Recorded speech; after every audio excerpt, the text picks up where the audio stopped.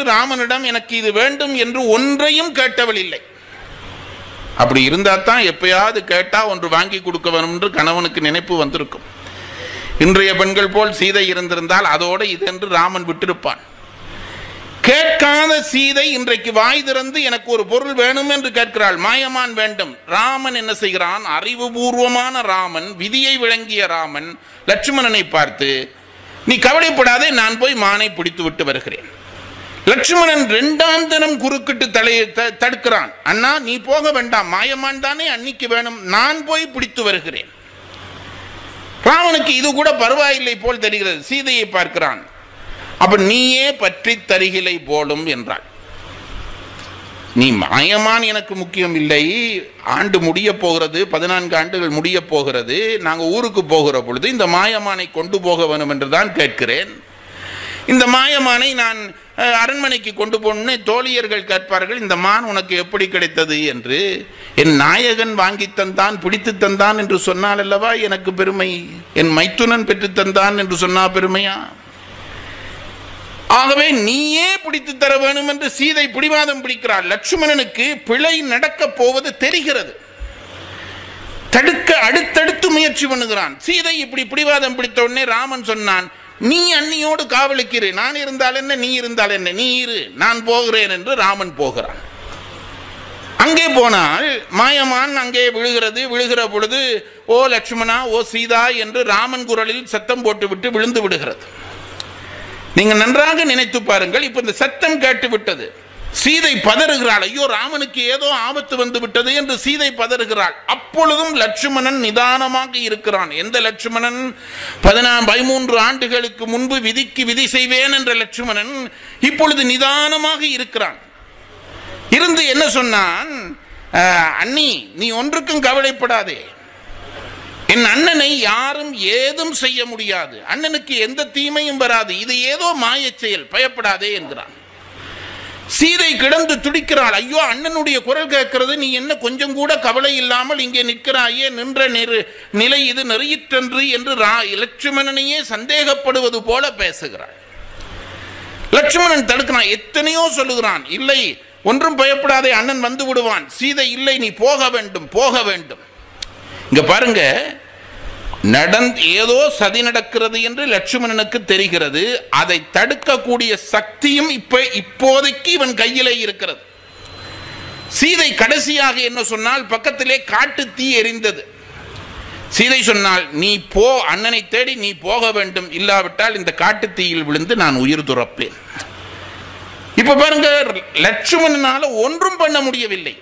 அண்ணனை தடுத்து பார்த்தான். நான் போகிறேன் என்றான். முடியவில்லை. காவலுக்கு இருக்கிறேன் என்றான். அண்ணன் வருவான் என்றான். ஒன்று இப்ப சீதை சொல்லுகிறாள் நான் நெருப்பில் விழப் போகிறேன் இப்ப என்ன செய்யலாம்? அண்ணி இது விதி எதுவும் பேச அவள் தயாரா இல்லை நீ போகிறாயா? நான் காட்டு தீயில் விழட்டுமா? அப்பதான் லட்சுமணன் ஒரு வார்த்தை சொன்னான். வெஞ்சின விதியினை வெல்ல வல்லமோ என்றான். யார் பதிமூன்று ஆண்டுகளுக்கு முதல் விதிக்கு விதியாகும் என் வித்தொழில் காண்டி என்ற லட்சுமணன் இப்ப என்ன சொல்லுகிறான்? வெஞ்சின விதியினை வெல்ல முடியுமோ? நன்றாக நினைத்துக் கொள்ளுங்கள். ஒரு பிரச்சனை இருப்பது நமக்கு தெரியும். இந்த தீ பிரச்சனையை தீர்ப்பதற்கான ஆற்றல் நம்மிடம் இருக்கும். ஆனால் தீர்க்க முடியாது. இதுதான் விதி. இந்த விதியை நம்முடைய சமயம் பல இடத்திலே சொல்லி இருக்கிறது நான் பிரச்சனை என்று சொல்ல போகிறது இதுதான் இந்த விதியை நம்முடைய தத்துவம் தெளிவாக சொல்லுகிறது. நீ ஒரு செயல் செய்தால் அந்த செயலினுடைய பயனை நீ அனுபவிக்கவே வேண்டும். இதுதான் நம் கண்ம கொள்கை. இதில் ரொம்ப நுட்பம் என்று சொல்லுகிறேன். தெரிந்து கொள்ளுங்கள். இது வாழ்க்கைக்கு தேவை என்றபடியால் சொல்லுகிறேன். தெரிந்து கொள்ளுங்கள். நாம் மூன்று விஷயங்களாலே செயல் செய்கிறோம். ஒன்று உடம்பாலே செயல் செய்கிறோம். ஒருவருக்கு அடிக்கிறோம். அது உடம்பாலே செய்கிற செயல். ஒருவரை வாயாலே நோக திட்டுகிறோம். நீ எல்லாம் ஒரு மனுஷனா? எரும மாடு. போ. இப்போ இது செயலா இல்லையா? நான் பேசிய வார்த்தை செயலா இல்லையா? செயல்தான். ஏனென்றால் நான் அடிக்கிற பொழுது அவனுக்கு வலித்தது போல நான் சொல்லுகிற சொல் அவனை வலிக்கச் செய்கிறது. ஒரு குழந்தையை பார்த்து அம்மா இங்க வாம்மா என்று கூப்பிட்டவனே சந்தோஷமாக வருகிறது. ஏ இங்க வா என்றோன வருவதில்லை. அப்போ வார்த்தை சந்தோஷத்தையும் துன்பத்தையும் கொடுக்கிறது அல்லவா ஆகவே வார்த்தையும் செயல்தான். ரெண்டு செயல் சொல்லிவிட்டேன். உடம்பாலே செய்வது வார்த்தையாலே செய்வது. மூன்றாவது செயல் மனதினாலே செய்வது. நம்ம விட ரொம்ப பலசாலி பெரிய மனுஷன் அவரை ஒன்றும் பண்ண முடியல அடிக்கவும் முடியல வார்த்தையால திட்டவும் முடியல மனதுக்குள்ள இவனுக்கு ஒரு சந்தர்ப்பம் வரட்டுன்னு நான் பார்க்குறேன். எல்லாருக்கும் அனுபவம் உண்டல்லவா? நம்ம விட பெரியவர் நேராக திட்ட முடியாது நேராக அடிக்க முடியாது. மனதில் அவனுக்கு நாலு அடி அடிக்கிற மாதிரி நினைக்கிறோமா இல்லையா? இது மனதாலே செய்கிற செயல். இதுதான் திரிகரண சுத்தி என்று சொல்வார்களே மூன்று கரணத்தினாலும் செயல் செய்யலாம். இப்போ நீ ஒருவனுக்கு அடிக்கிறாயா இது உடம்பாலே செய்ய செய்த செயல். இந்த அடி உனக்கு திருப்பி ஒரு தரம் விழும். மறந்து போகாதே. அதுபோல வார்த்தையாலே ஒருவரை திட்டுகிறாயா வார்த்தையாலே திட்டினால் ஏதோ ஒரு புறவியிலே அந்த திட்டுதல் உனக்கு வார்த்தையினாலே திருப்பி உன்னை வந்து சேரும். நான் இதை ஏன் சொல்கிறேன்? இவ்வளவு அழுத்தமாக சொல்கிறேன் என்றால் இந்த விதி கொள்கை தெரிந்துவிட்டால் நமக்கு பகை வராது. நம்மை ஒருவன் அடிக்கிறான் என்றால் இது இப்ப இவன் அடிச்ச அடி இல்லை நான் எப்போவோ யாருக்கு அடிச்ச அடி? நினைச்சு பாருங்க பகை போயிடும் யாராவது நம்மை திட்டுகிறான் என்றால் இது இவன் திட்டுகிற திட்டில்லே நான் இதே போல யாரையோ திட்டி இருக்கிறேன் என்று நினைத்து விட்டால் விதி சமப்பட்டு போய்விடும். இப்போ நான் கேட்கிறேனே இது ரெண்டும் சரி. மனதாலே நான் நினைக்கிற எண்ணங்கள் எப்படி எனக்கு செயலாக திருப்பி வந்து என்னுடைய சேரும்? நான் என் என்னுடைய ஆசிரியரிடம் பாடம் கேட்டேன். எனக்கு இது ஒரு பெரிய கேள்வி. அப்போ அந்த நாட்களிலே நான் அவரிடம் பாடம் கேட்கிற நாட்களிலே படுத்தால் காலையில் எழும்பும் வரைக்கும் தொடர் கணாக்கள் காணுவேன் நான். படுத்தா எழும்பும் வரைக்கும் கணா. எழும்பிட்டு திருப்பி படுத்தா அதே கணா தொடர்ச்சியா வரும். ஆச்சரியமா இருக்கும் கனவு கண்டு கனவு கண்டு களைச்சு போய் விடுவேன் ஒரு நாள் என் ஆசிரியரிடம் போகிற பொழுது இந்த கனவை பற்றி தெரிந்து கொள்ள வேண்டும் என்று போகிறேன். அன்றைக்கு இந்த பாடம் அவர் எனக்கு சொல்லுகிறார். என்ன சொல்லுகிறார்? மனதிலே நாம் சில பேரை பற்றி சில பேருக்கு தீங்கு செய்வதாக நினைக்கிறோம் சில பேருக்கு நன்மை செய்கிறதாக நினைக்கிறோம் அல்லவா? நன்மை செய்யவும் நினைக்கிறோம். என் அக்கா பெண்ணுக்கு கல்யாணம் என்னால் ஏதாவது கொடுக்க விருப்பம் மனைவி கொடுக்க விடுறாள் இல்லை இவள் மட்டும் இல்லாட்டி ஒரு பத்தாயிரம் ரூபாய் கொடுக்கலாமே என்று நினைக்கிறேனே அது நன்மை. அப்போ நன்மை தீமை மனதாலே செய்கிறோம் அல்லவா? அந்த வினை எப்படி கழியும் என்றால் கனவிலே கழியும் என்று நம்முடைய தத்துவக்காரர்கள் எழுதினார்கள். அதனால தான் நான் சொல்லுறது ஒன்று நிறைய கனவு காணுகிறீர்களா? அப்படி கனவு காண்டால் உங்களுடைய வினை கழிகிறது என்று நினைத்துக் கொள்ளுங்கள். சில பேருக்கு அப்படி வரும். வினை முடிகிற காலத்திலே கனவாக வரும். ஏனென்றால் எண்ணக்க எண்ணங்களாலே செய்த வினைகள் எல்லாம் கனவிலே தான் கழியும் என்று தத்துவாசிரியர்கள் எழுதுகிறார்கள். அப்போ மூன்று வினையும் நம்மை சேர வேண்டும். இப்போ நான் ஒன்று கேட்கிறேனே ஒருவனுக்கு அடித்தேன். எனக்கு அடி விழுகிறது. எப்போ விழும்? எப்போ விழும்? நான் இப்போ ஒருத்தனை கூப்பிட்டு என்னை விட ஒரு பலசாலிக்கு அடிக்கிறேன். அவன் உடனேயே அடிச்சுட்டான். வினை முடிஞ்சுது. பிரச்சனையே கிடையாது. ஆனால் எல்லா வினையும் உடனே உடனே விளைவது இல்லை. நான் அடிச்ச உடனே அடிக்க எனக்கு அடி விழாது. என்ன செய்கிறார்கள்? நம்முடைய தத்துவக்காரர்கள் என்ன சொல்கிறார்கள் என்றால் இதை வாழ்க்கைக்கு ரொம்ப முக்கியமான விஷயம் என்றபடியால் தான் இதை சொல்லுகிறேன். தெரிந்து கொள்ளுங்கள். இப்போ ஒரு ஒரு ஒரு ஒருவருக்கு நான் தீமை செய்து விட்டேன். அதனுடைய பலன் எப்போ விளையும் என்றால் அது எப்போ விளையும் என்பது அந்த சந்தர்ப்பத்தை பொறுத்ததல்ல. அந்த வினையை பொறுத்தது என்றார்கள் நம் பெரியவர்கள். ஒரு வினைக்கான எதிர்வினை உடனே விளையலாம். சில நேரத்தில் உடனே விளையலாம். சில நேரத்திலே ஒரு பத்து நாள் கழிந்து விளையலாம். சில நேரத்திலே அடுத்த பிறவியிலே விளையலாம். சில நேரத்திலே பத்து பிறவி கழிந்து கூட விளையலாம்.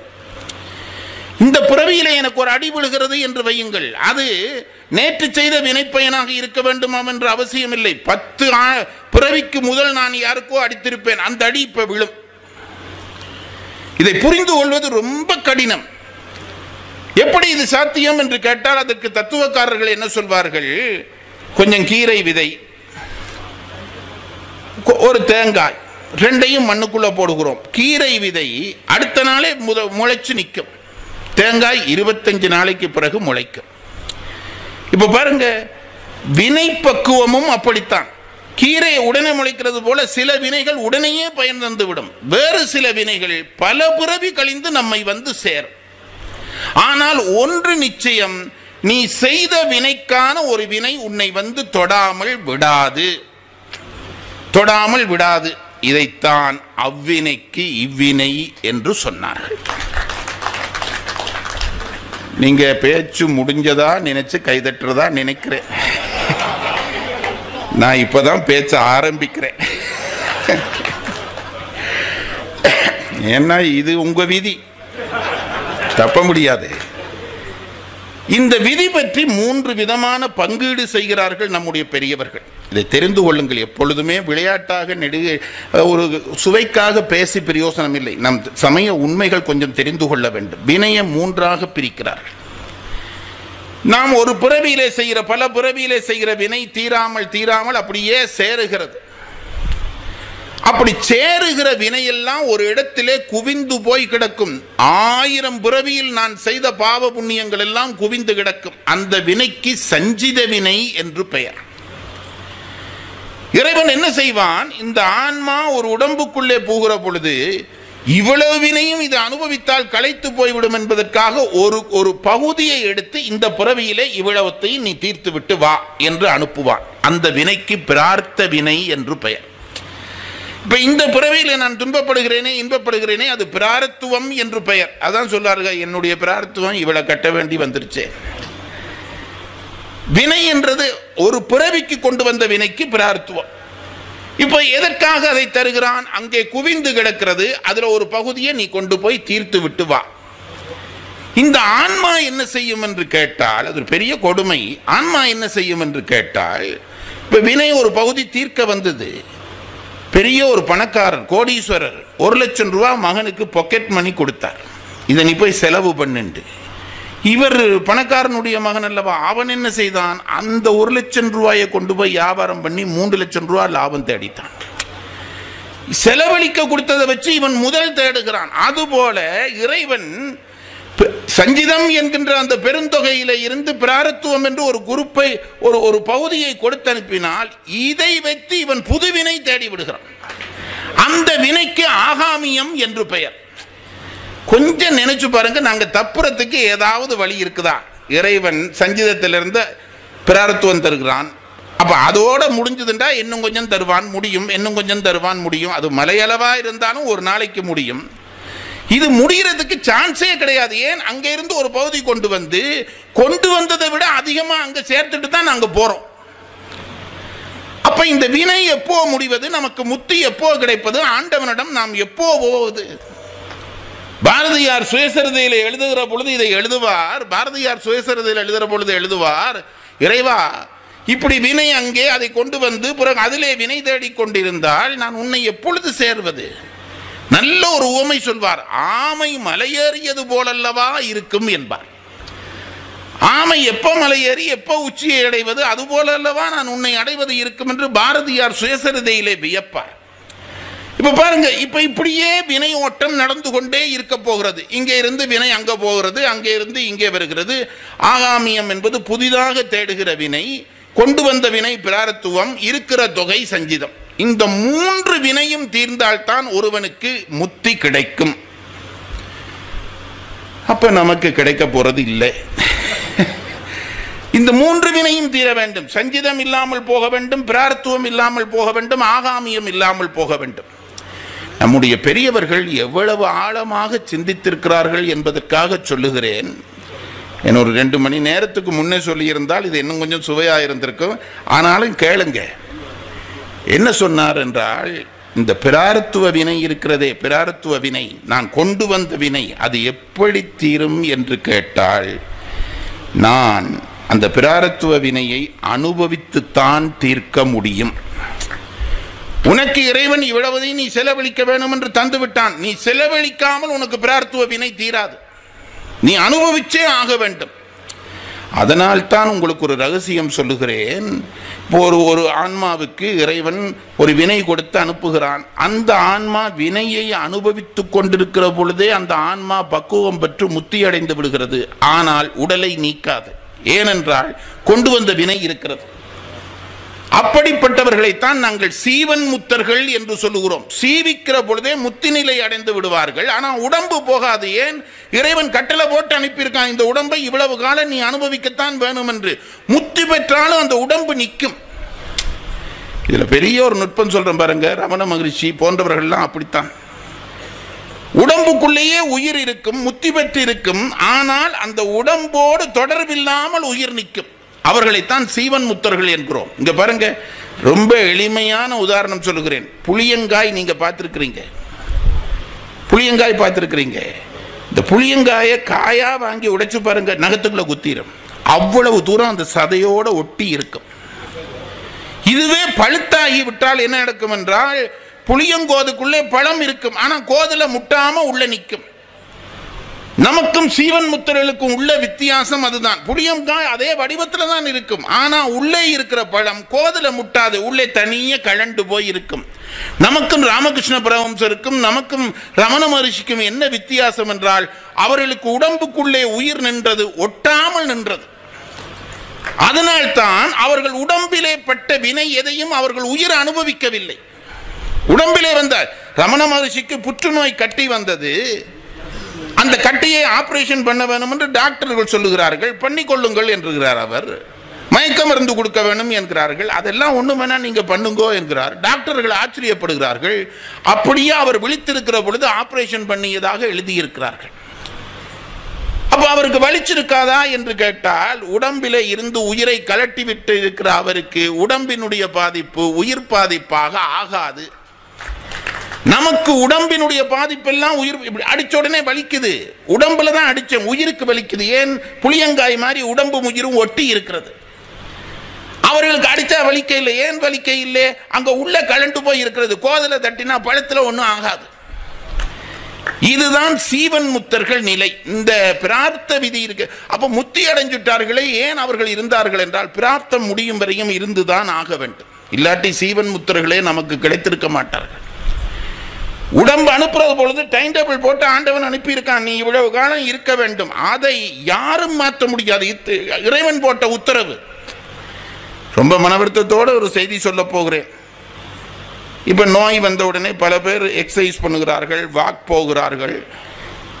அந்த டாக்டரை பார்க்குறார்கள் இந்த டாக்டரை பார்க்குறார்கள். நீங்கள் என்ன நாள் பார்த்தாலும் போகிறதுக்கு போகிற டேட் இறைவன் குறித்த டேட்டுக்கு முன்னையும் போக முடியாது பின்னையும் போக முடியாது. ஒரு நாள் முந்தி போக போறேன்னு கேட்டாலும் கடவுள் அனுமதிக்க மாட்டான். ஒரு நாள் பிந்தி இருக்க விடு என்று கேட்டாலும் விட மாட்டான். அதுதான் விதி. அப்போ பிரார்த்த வினை என்று நான் சொன்னேனே ஒரு பிறவிக்கு கொண்டு வந்த விதி அதை அனுபவிச்சு முடிச்சுத்தான் அந்த விதியை தீர்க்கலாம். அந்த வினையை தீர்க்கலாம். சரி ஆகாமியம் என்று ஒரு வினை சொன்னேனே. நான் இந்த பிறவிக்கு கொண்டு வதை வச்சு புதுசா சேர்க்கிறேனே அது எப்படி இல்லாமல் பண்ணுவது? ஆகாமிய வினை இப்போ எனக்கு ஒருத்தர் அடிக்கிறார். அடித்த உடனே நான் என்ன நினைக்குவேன்? எப்போவோ அடித்து அடி விழுந்துட்டு. சரி முடிஞ்சது போ. அப்படியா நினைக்கிறோம்?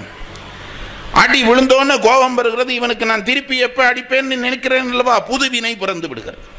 அந்த வினை முடிஞ்சது. இப்போ புது வினை நான் தேடிட்டேன். அப்போ புது வினை வராமல் இருக்க வேண்டும் என்றால் என்ன செய்ய வேண்டும் என்பதற்கு பதில் சொல்லுகிறேன். எவன் எந்த ஒரு செயலையும் விருப்பு வெறுப்பின்றி அனுபவித்தால் புது வினை பழக்காது. ஒரு கோடி ரூபாய் உங்களுக்கு தர்றான். சந்தோஷமா பேசாம அதை வாங்கி இப்படி வச்சுடுறீர்கள். அதை பத்தி ஒரு கவலையும் இல்லை சந்தோஷம் இல்லை. ஒரு கோடி ரூபாய் உங்கள்ட்ட இருந்து எடுக்கிறான். அப்பவும் சந்தோஷம் இல்லை கவலை இல்லை. அந்த வினை உங்களை பாதிக்கவில்லை என்று அர்த்தம். ஆகாமிய வினை இல்லாமல் போக வேண்டும் என்றால் இன்ப துன்பம் இல்லாமல் அதை தொட தெரிய வேண்டும். அப்போ பற்றில்லாமல் செயல்பட்டால் ஆகாமிய வினை போயிடும். பிரார்த்த வினை அனுபவிச்சு முடிஞ்சு போயிடும் சஞ்சிதம் ஒரு மலை போல குவிச்சு வச்சிருக்கிறோமே இத்தனை பிறவியில தேடின வினை அது எப்படி போகும்? இது ரெண்டும் போனாலும் அது இருந்து வந்து கொண்டே இருக்க போகிறதே அது எப்படி போகும் என்பதற்கு நம் பெரியவர்கள் தத்துவாசிரியர்கள் சொன்னார்கள் அது எப்படி போகும் என்றால் நீ பக்குவப்பட்டவனாக ஆகிவிட்டால் அந்த பொறுப்பை இறைவன் எடுத்துக்கொள்வான். பக்குவப்படுவனாக எப்படி ஆடு ஆகுவது? இறைவனுடைய வேலை அதுதான். ஐயா உன்னை பக்குவப்படுத்துவதற்காக இந்த உடம்பிலே போட்டு இன்பத்தாலே ஒரு அடி துன்பத்தாலே ஒரு அடி மாறி மாறி மாறி அடிக்கிறான். நான் எப்பவும் சொல்லுகிறேன் இறைவன் நமக்கு தருவதிலே இன்பம் சிறந்ததா துன்பம் சிறந்ததா? தயவு செய்து பதில் சொல்லுங்கள். நாங்கள் எல்லாரும் ஒருமித்து கையேத்துவோம் இன்பம் சிறந்தது என்று இன்பத்தை விட துன்பம்தான் சிறந்தது. ஏனென்றால் இன்பம் திரும்ப திரும்ப பிறக்க வேண்டும் என்ற ஆர்வத்தை தூண்டுகிறது. துன்பம் போதும் என்று நினைக்கச் செய்கிறது. துன்பம் வந்துட்டா ஐயோ இது போதும் இந்த பிறவியே போதும் என்று நினைக்கிறோம். அப்போ உனக்கு ஞானத்தை துன்பம் தான் தருகிறது இன்பம் தரவில்லை. அப்போ இந்த இறைவன் என்ன செய்கிறான்? இன்பத்தாலும் துன்பத்தாலும் மாறி மாறி அடிப்பான். இங்க பாருங்க லேசா சொல்றேன் எளிமையா சொல்றேன். தயிர் அந்த காலத்தில் மத்தால அடிப்பார்கள். மத்து எப்படி அடிப்பார்கள் தெரியுமோ? ஒரு அடி இந்த பக்கம் ஒரு அடி இந்த பக்கம். ஒரு அடி இந்த பக்கம் ஒரு அடி இந்த பக்கம். இப்படி அடிக்க அடிக்க தயிர் இப்படியும் திரும்பி இப்படியும் திரும்பும். இந்த பக்கம் அடிச்சடி இன்பம் இந்த பக்கம் அடிச்சடி துன்பம். இவ்வளவு தான் இப்படி மாறி மாறி மாறி அடிக்க அடிக்க தயிர் கலங்கும். தயிர் கலங்கும். கட்டியா இருந்த தயிர் கலங்கும். ஆனால் அந்த அடியினாலேயே தயிருக்குள்ளே இருந்த வெண்ணெய் கலன்று வெளியிலே வரும். மறந்து போகாதீர்கள். அடிக்க அடிக்க அடிக்க வெண்ணெய் கலன்று வெளியிலே வரும். உங்களுக்கு ஒரு ஆச்சரியம் சொல்லுகிறேன் பாருங்கள். இதுவரை வெளியிலே வந்த வெண்ணெய் எங்கே இருந்தது? தயிருக்குள்ள தான் இருந்தது. தயிருக்குள்ள இருந்தது உங்களுக்கு தெரிஞ்சுதா? தெரிய இல்லை. இப்ப அடிச்சோடனே என்னாச்சு? வெண்ணெய் கலண்டு வெளியில வந்துட்டுது. இப்ப நான் கேட்கிறேன் எந்த பெரிய கெட்டிக்காரனாக இருந்தாலும் எந்த அதிகாரம் உள்ளவனாக இருந்தாலும் இந்த வெண்ணெயை பழையபடி தயிருக்குள்ள போக பண்ண முடியுமா?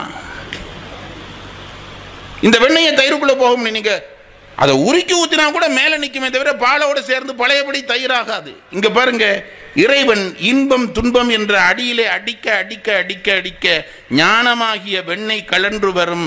கலண்டு வந்துவிட்டால் திருப்பி தயிரோடு சேராது. இதில் இன்னொரு நுட்பம் சொல்ல போகிறேன். இந்த தயிர் கலண்டு வருது. நீங்கள் சொல்லுங்க தயிரில் எத்தனையாவது அடி அடிக்கிற பொழுது வெண்ணெய் வெளியில் வரும்? என்னை விட இதில் உங்களுக்கு அனுபவம் இருக்கும். எத்தனையாவது அடி அப்படி தெரிஞ்சால் அம்மா அம்மாருக்கெல்லாம் வீட்டிலே எவ்வளவு சுலபமாக போயிடும். நாற்பத்தாறாவது அடியில் வெண்ண வரும் என்றால் நம்பி அடிக்கலாம் நாற்பத்தாறாவது அடி. ஒரு தயிரில் பத்து நிமிஷத்தில் வெண்ணெய் வந்துடுது இன்னொரு தயிரில் அரை மணித்தியாலும் ஆகுது இன்னொரு மணித்தியாலும் ஒரு மணித்தியாலும் ஆகுது. சில தயிரில் தயிரே வருது இல்லை கையுழைஞ்சு விட வேண்டி இருக்கிறது என்ன காரணம்? வெண்ணெய் வருவது அடியிலே மட்டுமல்ல தயிரினுடைய பக்குவத்திலே அடிக்கிறவருடைய ஆற்றலிலேயும் இருக்கிறது. ஞானமாகிய வெண்ணெய் வருவது இறைவன் அடிக்கிற இன்ப துன்பத்திலே மட்டுமல்ல ஆன்ம அனுபவத்திலேயும் இருக்கிறது. பல புறவிகளிலே ஆன்மா பிறந்து பிறந்து பிறந்து முத்தி முத்தி முத்தி இனி போதும் என்ற நிலையிலே இறைவன் ஒரு அடி அடித்தான் என்றால் வெண்ணெய் வந்துவிடும். அதான் ஞான சம்பந்தருக்கு நடந்தது. மூன்று வயதிலே அந்த பிள்ளை முத்தி அடைந்து விடுகிறான். முத்திக்கான சமநிலை பெற்று விடுகிறான். அப்போ என்ன செய்வான் இறைவன்? இன்ப துன்பம் என்ற போட்டு அடிச்சு அடிச்சு அடிச்சு அடிச்சு அடிச்சு அந்த அடி பக்குவப்படுற நேரத்திலே வெண்ணை வருகிற நேரத்திலே இறைவனுடைய வேலை என்ன தெரியுமா? குருவாக வந்து தீட்சை பண்ணுவான். இதுதான் நம் தத்துவம் சொல்லுகிற உண்மை. நாங்கள் இதை குறியீடாக பண்ணி கொண்டிருக்கிறோம் தீட்சை பண்ணினா முத்தி வந்துடும் என்கிறோம். சும்மா தீட்சையிலெல்லாம் ஒன்றும் முத்தி வராது. சும்மா திச்சையில் முத்தி வரும்னா எல்லாரும் முத்தி அடைஞ்சிடலாமே. ஆன்ம பக்குவம் அடைய வேண்டும். முத்தி தரக்கூடிய பக்குவம் உள்ளவன் நம்மை தொட வேண்டும். மாணிக்கவாசருக்கு அதுதான் நடந்தது. ஒளிசை மானுடம் ஆக நோக்கியும் கீறிலாத நெஞ்சுடைய நாயினேன் கடைய நாயினேன் பட்ட கண்மையே என்றார். பக்குவம் ஆன்ம பக்குவம் வந்தோடனே இறைவன் ஒரு தட்டு தட்டுவான். தட்டுவதற்காக குருவாக வருவான். குருவாக வருவான். குருவாக வந்து தீட்கை பண்ணி சஞ்சிதமான வினை முழுவதையும் அவன் எரிப்பான் என்று தத்துவ ஆசிரியர்கள் சொன்னார்கள் இங்க பாருங்க விருப்பு வெறுப்பில்லாமல் இயங்கினோடனே ஆகாமியம் போய்விடும். அனுபவிச்சு முடிஞ்சோடனே பிரார்த்துவம் போயிடும் சஞ்சிதம் போகாது. அது மலை போல குவிந்திருக்கிற வினை. அதை என்ன செய்வான்? நாம் பக்குவப்பட்ட உடனே இறைவன் குருவடிவாக வந்து கையாலே தொட்டு கண்ணாலே பார்த்து அதை எரித்து சாம்பலாக்குவான். வினை முடியும் ஆன்மா முத்தி அடையும் இதுதான் நம் வினை கொள்கை. ஒரு யூனிவர்சிட்டியிலே சொல்ல வேண்டிய விஷயத்தை ஒரு விழாவிலே சொல்லுகிறேன். விதி உள்ளவர்களுக்கு அது புரியும். இப்போ நான் சொல்லுகிறேன் பாருங்க. இவ்வளவும் விதியை விளங்கப்படுத்தி விட்டேன் அல்லவா? இப்போ என்ன உண்மை? விதி என்கின்ற ஒன்று தப்ப முடியாது எல்லாரும் அனுபவிக்கவே வேண்டும். முடிவுரை சொல்லுகிறேன். இப்போ இதுதான் நம்முடைய தத்துவாசிரியர்கள் சொல்லி இருக்கிற விதி பற்றிய செய்தி என்னும் பல உண்டு நான் மேலோட்டமாக சொல்லியிருக்கிறேன். வினை மூன்று பகுதியாக மாறும். நீ செய்கிற நன்மை தீமை என்கின்ற வார்த்தையாலே செயலாலே மனதாலே செய்வதெல்லாம் சேர்க்கப்பட்டு அதில் இருந்து ஒரு பகுதியை ஆண்டவன் ஒரு புறவிக்கு தருவான் அதை அனுபவிப்பாய். அது அனுபவித்து முடிகிற பொழுது பிராரத்துவம் முடிந்து போய்விடும். அதை விருப்பு வெறுப்பில்லாமல் நீ அனுபவித்தால் ஆகாமியம் முடிந்துவிடும். எஞ்சி இருக்கிற சஞ்சிதத்தை இறைவனே வந்து குருவாக தீட்சை பண்ணி எரிப்பான். இதுதான் வினை கொள்கை. இப்போ நான் கேட்கிறேன் இது நம்முடைய தத்துவம் சொல்கிற செய்தி. பக்தி என்ன சொல்கிறது இதுதான் கேள்வி. பக்தியிலையும் பல பேர் விதியை ஒத்துக்கொண்டார்கள். ஆனால் ஒரு சில செய்திகள் நமக்கு இடர் தருகிற செய்திகளாக இருக்கின்றன. நான் கற்றவர்களாகிய உங்கள் கருத்துக்கு இதை சொல்லிவிட்டு விடப்போகிறேன் முடிவு சொல்ல மாட்டேன். முடிவை நீங்களே சிந்தித்து தெரிந்து கொள்ள வேண்டும். மூன்று இடம் இடர் தருகிற இடம். அதாவது விதித்த விதியை இறைவனே மாற்ற மாட்டான். நீ அனுபவித்தே ஆக வேண்டும். உனக்கு தரப்பட்ட திட்டத்தை நீ தீர்த்தே ஆக வேண்டும். இதுதான் விதிக்கொள்கை இந்த விதி கொள்கைக்கு மாறுபாடாக நமக்கு ஒரு செய்தி நம் புராணங்களிலே பதிவு செய்யப்படுகிறது. என்ன கதை என்றால் மார்க்கண்டே மார்க்கண்டேயர் கதை. இந்த பிள்ளை பிறக்கிற பொழுதே பதினாறு வயதிலே இந்த பிள்ளை இறந்துவிடும் என்று செய்தி சொல்லப்படுகிறது தந்தைக்கு. இந்த செய்தியோடு இந்த தந்தை பதினாறு வயது ஆக ஆக இந்த பிள்ளை இறக்கப் போகிறான் என்று கவலைப்படுகிறார். அப்போ அந்த பிள்ளைக்கு விதி பதினாறு வயது தான் நம்முடைய தத்துவம் என்ன சொல்கிறது? விதியை மாற்ற முடியாது. ஆனால் மார்க்கண்டேயர் கதை என்ன சொல்கிறது? அந்த நாளனும் நடைக்களம் புகுத அவனை காப்பதும் காரணமாக வந்த காலன் தன் ஆறுயிரதனை ஒவ்வினாய் அந்த பிள்ளை என்ன செய்தது? சிவனை பற்றி கொண்டது. பற்றி கொண்டனே யமன் அந்த டைமுக்கு வருகிறான். அந்த விதி முடிந்தது இந்த பிள்ளையை எடுக்க வேண்டும் என்று வருகிறான். சிவபெருமான் அந்த அந்த யமனை உதைந்து கொன்றார் என்பது ஒரு கதை. அப்போ தத்துவத்துக்கும் நம்முடைய தோத்திர தத்துவத்துக்கும் தோத்திரத்துக்கும் முரண்பாடு வந்து விடுகிறது. விதி என்றால் அனுபவித்துத்தான் தீர்க்க வேண்டும். இறைவனே அதில் தலையிட மாட்டான். அது உன் விதி. நீ அனுபவித்தே ஆக வேண்டும். அப்ப ஏன் ஐயா கடவுளை கும்பிடுவான் என்றால் கடவுளை கும்பிட்டால் அந்த விதியை அனுபவிக்கிற பலம் தருவான் என்பார்கள் சில பேர். இப்போ ஒரு பெரிய ஒரு சாக்கு ஒரு ஒரு பெரிய அரிசி மூட்டையை வச்சு என்ன தூக்க சொல்கிறீர்கள்? நான் தப்ப முடியாது தூக்கியே ஆக வேணும். அதுதான் விதி. ஆனால் என்னோட ரெண்டு பேர் சேர்ந்து அதை கொஞ்சம் தலையில பிடிச்சு கொண்டால் அந்த பாரம் குறையும். அப்ப வழிபாட்டினாலே என்ன செய்யலாம் என்றால் இறைவன் நமக்கு பலத்தை சேர்த்து அந்த விதியின் துன்பத்தை குறைப்பானே தவிர விதியில இருந்து தப்ப விட மாட்டான் என்பது ஒரு சாரார் கொள்கை. ஆனால் இந்த மார்க்கண்டையர் கயிறு அதுக்கு நேர் முரணாக யமன் வருகிறான் அவன் கடமையை செய்ய வருகிறான்.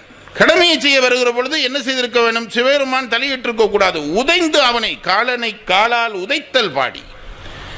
மார்க்கண்டேயர் காப்பாற்றினார் என்றால் என்ன அர்த்தம்? விதியை வெல்ல முடியும் என்று ஒரு செய்தி நம் தோத்திரத்தில் உண்டு. இது ஒன்று. இன்னொரு செய்தி முருகனுடைய கந்தர் அலங்காரத்திலே வருகிறது. அருணகிரிநாதர் பாடுகிறார். ஆச்சரியமாக இருக்கும் இந்த செய்தியை எல்லாம் படிக்கிற அவர் என்ன சொல்வார்? அவன் கால்பட்டு அழிந்தது என் தலைமேல் அயன் கையெழுத்தே. இரண்டாவது செய்தி.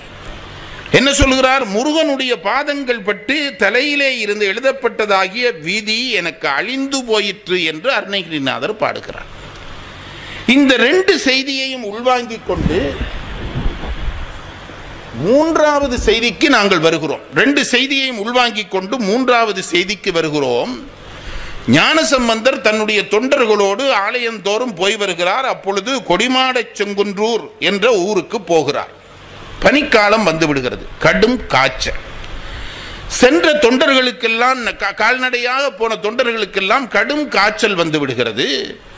எல்லாரும் துன்பப்படுகிறார்கள். ஆ, வீதி வழியாக நடந்து நடைபயணம் செய்து இறைவனுடைய ஆலயங்களை தொழுவோம் என்று வந்த நமக்கே இப்படி வந்து விட்டதே என்று அழுதார்கள். அழுதுவிட்டு தத்துவம் படித்தவர்கள் அல்லவா? என்ன சொன்னார்கள்? இது நம் விதி வந்திருக்கிறது. தாங்கிக் கொள்ளத்தான் வேண்டும் என்று அந்த விதியை ஏற்றுக்கொண்டு அத்தனை பேரும் உட்கார்ந்தார்கள். அப்போ ஞானசம்பந்தர் பேசுகிறார். நான் ரொம்ப ஆச்சரியப்படுகிற பாடல் இது. தத்துவத்தை இவ்வளவு தூரம் புரிந்து கொண்ட ஞானசம்பந்தர் எல்லா தத்துவத்துக்கூடாகவும் வெளிவந்த ஞானசம்பந்தர் அந்த அந்த இடத்திலே பாடுகிற தேவாரம் அந்த தேவாரத்தை பாருங்கள். அவ்வினைக்கு இவ்வினையாம் என்று சொல்லும் அகுதறிவீர் டே தத்துவ ஆசிரியர்கள் என்ன சொன்னார்கள்? அந்த வினைக்கு இந்த வினை. இது புரிந்து கொள்கிறார் அல்லவா? இதைத்தான் நான் இவ்வளவு நேரம் விளங்கப்படுத்தினேன். அவ்வினைக்கு இவ்வினையாம் என்று சொல்லும் அகுதறிவீர் வினைக்கு வினை. அப்போ இப்போ கா எல்லாருக்கும் குளிர் ஜுரம் வந்து விட்டது. அப்போ ஏதோ வினை செய்திருக்கிறோம். கோயிலுக்கு போகிற பொழுதும் வினை வந்து விட்டது என்று இவர்கள் எல்லாம் ஓய்ந்தார்கள். ஞான சம்பந்தர் அவர்களை தட்டி எழுப்பினார். அப்படி சொல்லாதே. அப்படி சொல்லாதே. என்ன சொல்லுகிறேன் என்று கேட்டால் அவ்வினைக்கு இவ்வினையாம் என்று சொல்லும் மகுதறிவீர். உய்வினை நாடாது இருப்பது உம்தமக்கு ஊனமன்றே. ஏண்டா நீங்கள்லாம் ஏன் இப்படியே ஒத்துக்கொள்கிறீர்கள்? விதி விதி விதி என்று ஒத்துக்கொண்டு அதை அனுபவிப்பதிலே என்ன பிரயோசனம் இருக்கிறது? அதில் இருந்து தப்புவதற்கு என்ன வழி என்று நாடாமல் இருந்தால் அது உனக்கு குறை என்பது கூடவா? உனக்கு தெரியவில்லை. பெரிய பலம் தருகிறார் ஞானசம்பந்தர். நாம் எல்லாரும் வாழ்க்கையிலே இது நம்பிதி இது நம்பிதி இது நம்பிதி என்று ஓய்ந்து போகிறோம். என் நம் புத்தியிலே அந்த செய்தி பதிக்கப்பட்டிருக்கிறது. விதியிலிருந்து தப்ப முடியாத இலக்கியங்கள் சொல்கின்றன புராணங்கள் சொல்கின்றன எல்லாம் சொல்கின்றன.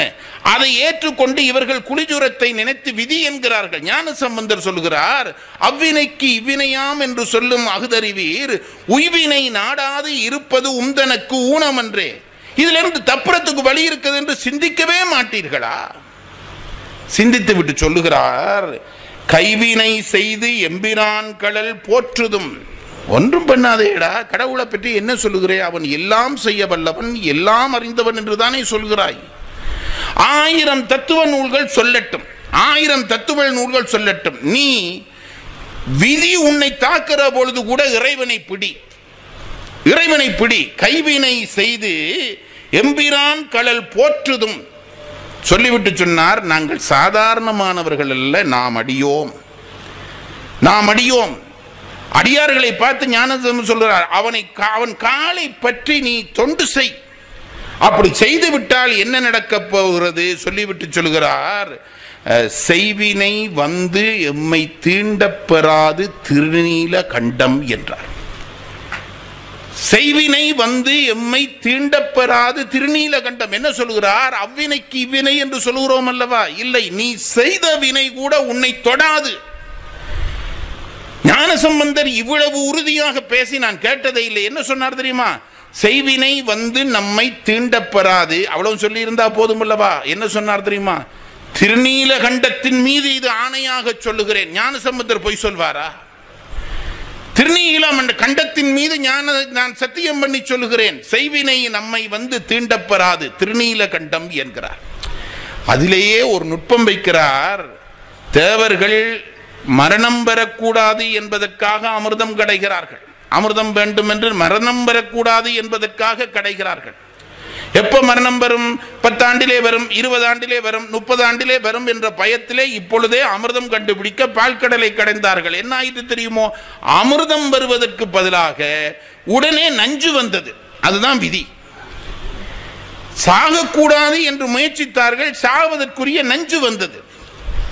இப்போ தேவர்கள் என்ன செய்தார்கள்? ஓய்ந்து விடவில்லை. இது விதி. நாம் சாக வேண்டிய விதி. நஞ்சு வந்ததே என்று ஓயவில்லை. சிவன் காலை போய் பிடித்தார்கள். சிவபெருமான் என்ன செய்தார்? அந்த நஞ்சை எடுத்து தன் வாயிலே போட்டு கொண்டார். அது தொண்டையிலே நின்றது. அதனாலே திருநீல கண்டர் என்று அவருக்கு பெயர். குறிப்பாலே ஞானசம்பந்தர் சொல்லுகிறார் செய்வினை வந்து தீண்டப்பெறாது. திருநீல கண்டத்தின் மீது சத்தியமாக சொல்கிறேன் என்பது ஒரு செய்தி. திருநீலகண்டர் வ- திருநீலகண்ட வரலாறை நினை இறைவன் எப்படி தேவர்களுக்கு வர வேண்டிய விதியை நஞ்சு தஞ்சை தான் உண்டு தடுத்தானோ அப்படி அடியார்களுக்கு தடுப்பான் என்று சொல்லி முடிக்கிறார் ஞானசம்பந்தன். ஆகவே நான் சொல்லுகிற ஒரு செய்தி. விதி நம்மை வாட்டும் வாட்டும் வாட்டும் என்று வருந்துவது அடிப்படை தத்துவ உண்மைதான். இதற்குள்ளே இருக்கிற முரண்பாடு தீர்ப்பது பெரிய விஷயம். தீர்க்க வேண்டும் தீர்க்க வேண்டும் அது எப்படி என்று சொல்வது பெரிய விஷயம். ஆனால் ஒரு நம்பிக்கை கொள்ளுங்கள். இறைவனுடைய திருவடியை நாம் பற்றி கொள்வோமே ஆனால் விதியை கூட மாற்றலாம் என்று ஞானசம்பந்தர் பதிவு செய்கிறார். செய்வினை வந்து நம்மை தீண்டப்பெறாது என்று உறுதி தருகிறார். அவ்வினைக்கு இவ்வினை என்று படிப்பு படித்து பிரயோசனம் இல்லை இறைவனை பிடி வினை தீரும் என்று சொல்லுகிற அந்த செய்தியைத்தான் இன்று உங்களுக்கு சொல்ல வேண்டும் என்று நினைத்தேன். சொல்ல வாய்ப்பளித்த இறைவனுக்கும் உங்களுக்கும் என்னுடைய நன்றி வணக்கம்.